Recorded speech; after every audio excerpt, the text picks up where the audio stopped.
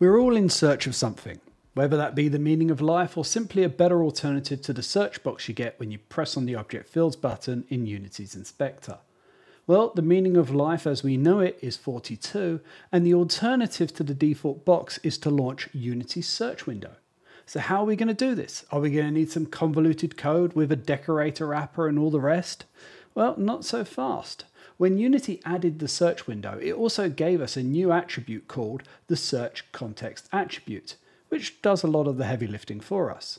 So, as you see here, I have a spawn class, and that simply spawns a set creature in the world to attack our player.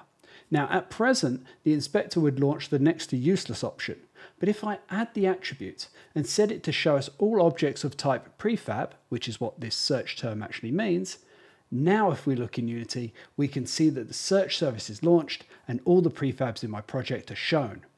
Now, we can also add some polish to this search window with a few of the search view flags. To start with, I would like it to open in the center of my Unity application. And also, the list view just isn't cutting it, so let's make it a grid. Now, that's better, but I also want to have the inspector open immediately, as I know for this particular case, I will want a little peek at the creature before I select it. Well, I can add another flag, as you see here, to do that too. Now it should be noted that only prefabs of type creature are shown, and that is because the type of the field is creature.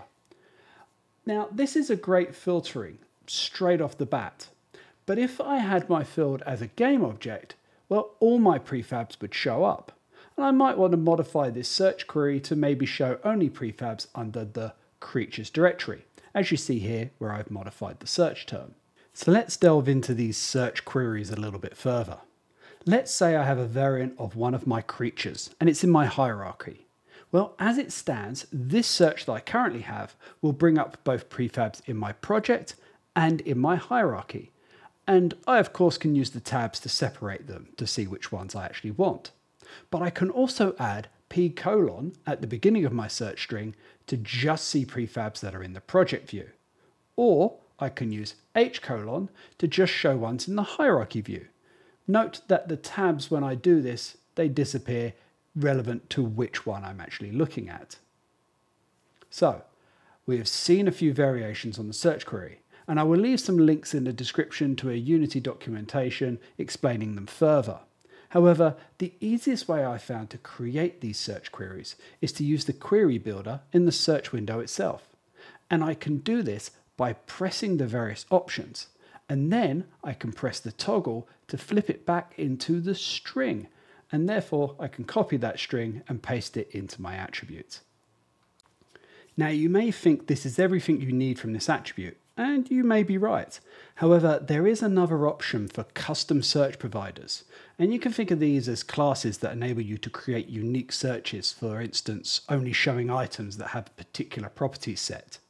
And all of that is a little bit more than I wanted to go into for this short introductory video.